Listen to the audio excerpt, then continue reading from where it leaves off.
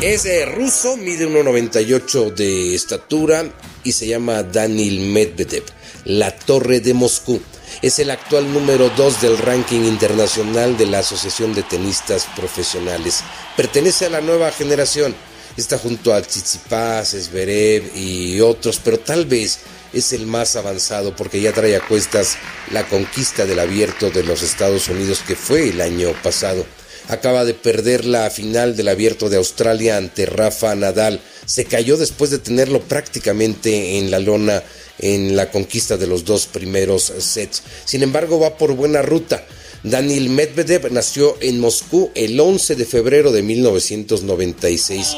Su madre lo gestaba al octavo mes y es por eso que no le permiten que pertenezca al ejército ruso, que haga servicio militar y tal vez ahí cambia la historia. Apenas en el 2015 ya estaba comenzando a ganar sus primeros torneos. Sydney fue el eh, primero.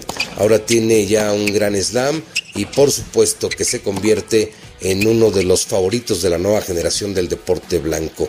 Estará en Acapulco. Del 21 al 26 de febrero, Enfoque Noticias te trae Acapulco.